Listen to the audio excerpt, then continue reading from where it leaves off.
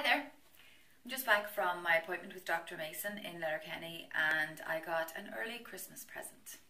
Introducing what every girl wants this Christmas a waist trainer. No, it's not. It's my new hip brace. I am really, really happy with it. It's quite hard to tell in this video, but this is the first, this is Mark 1, let's say. The plan, so just give you, goes around the back like that. It's been adjusted to my hip and it goes down to there.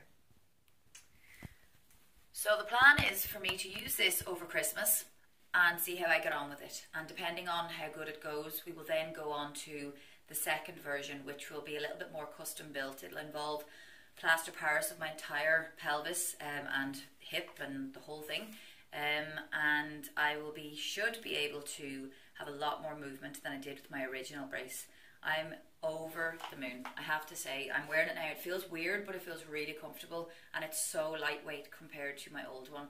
Um, a lot of you won't have any experience with hip braces, so you won't be able to appreciate the difference this will make for me. But there will be people out there that know exactly what I'm talking about. Um, and what I would say to you is if you're in a similar situation, do what I did. I mentioned this in my last video. Reach out, ask questions, because that's exactly how I got to where I am now with this hip brace. I went into Dr. Mason about my feet and I ended up going down a completely different road. Uh, this should help me with climbing with training. I'm starting back training in January and I'm going to be able to wear this while training because there's that much movement in it. That's massive. Um, it's really going to change things for me and I'm so excited. So just wanted to share that with you because I said I would in the last video.